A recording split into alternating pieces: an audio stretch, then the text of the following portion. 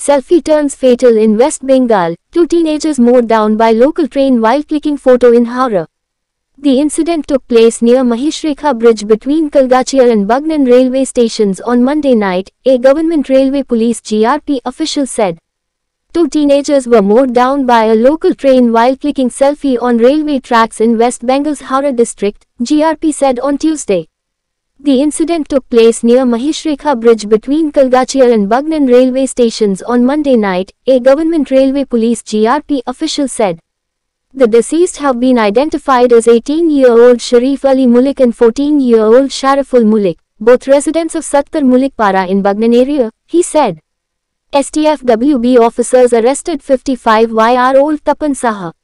The bodies were recovered and handed over to their parents after post-mortem examination, he added.